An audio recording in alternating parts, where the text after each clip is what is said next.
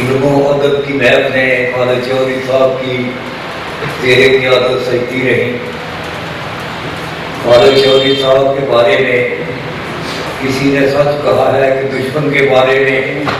तो बहुत कुछ बोल सकते हो।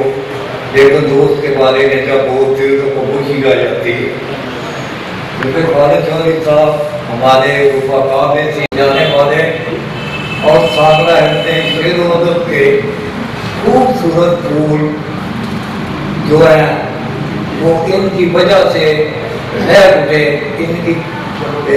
मेहनत से मजबूर में बैठ गई